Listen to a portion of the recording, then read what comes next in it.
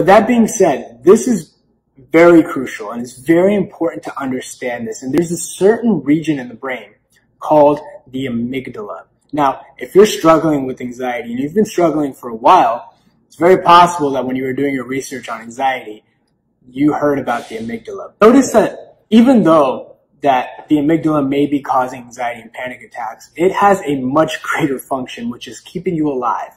The fact that you're alive is all thanks to the amygdala.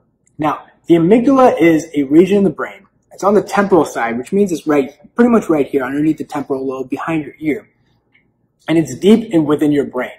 That means it's, it's more older. It's more primitive part of the brain. A good way of looking at it is it's within the temples and right behind your eyes. It's, it's, it's kind of deep within there.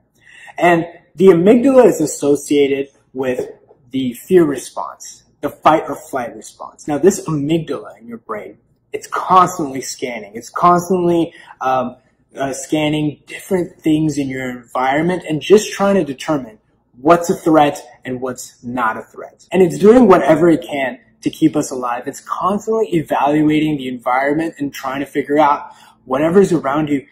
Can it hurt you? You know, is it, is it something bad that can happen or is it just completely just fine? It's, you know, nothing too serious, you know, just keep going.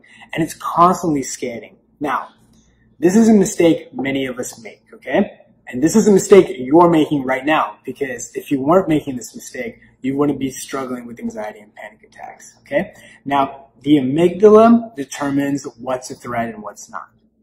But it's our reaction that proves it right or wrong. Now, this is, this is key. And I, am going to, this is so important for recovery that um, if you gloss over this, if you don't fully understand this, you, you'll just have a lot of bottlenecks and you won't be able to, you know, get to the next stage of recovery. It's our response to the amygdala that proves it right or wrong. So if it considers something a threat, if we respond to that in a way that proves that it's a threat, well, then it reinforces the amygdala and it reinforces that specific scenario, that specific situation as a threat.